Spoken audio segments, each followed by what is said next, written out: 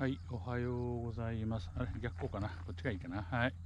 えっ、と、今日はね、えっ、と、兵庫県加西市ですね。あの、ため池周り来てます。ちょうどね、秋のトンボ、秋の蝶々がね、そろそろ出てくる時期なんで、えーその辺をね、ちょっと撮っていきたいと思います。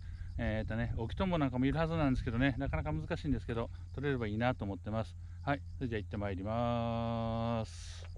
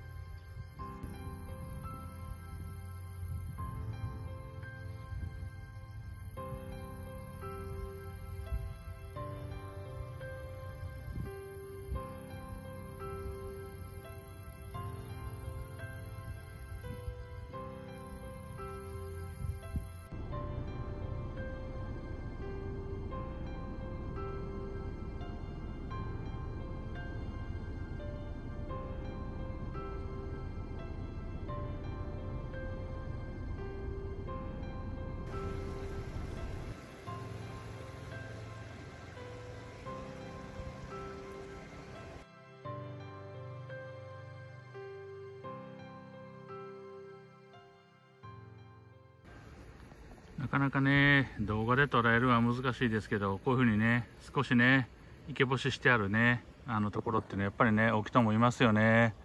いくつかね飛んでましたけどねちょっともう活動終わったんかなギリギリ。ちょっとね来るの遅かった気しますけどね。はいあのー、連結してあの産卵してる個体とかも見られました。まあねあとはね一眼で捉えた画像がどんだけ映ってるかっていうことなんですけどね。はいまああの見れてよかったと思います。はい。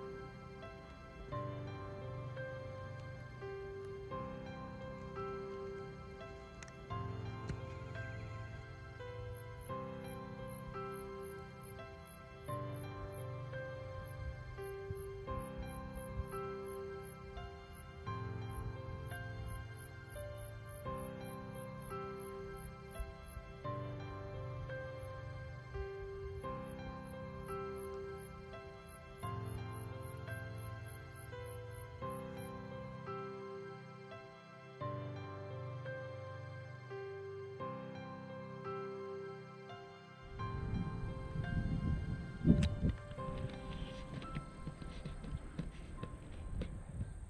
いえー、っとね、はい、えー、こういうね、浅い池を見つけました。そしたらね、やっぱりね、ちょっと水が抜いてあるっていうこともあるんですけど、えー、と、オキトンボね、そこそこたくさんおりました。はい。久しぶりにね、こんなたくさん見てね、うん、ちょっとね、嬉しいです。はい。まあ、なかなかね、あの絶滅危惧種とか言われてて、たくさんはいないんですけどね、はい。ちょうど今の時期見れるトンボとしては非常にいいトンボじゃないかなと思います。はい。またね、ちょ次のね、どっかでね、いい動画撮れたらね、あの、アップしていきたいと思いますのでね、また見てくださいね。よろしくお願いします。じゃあね。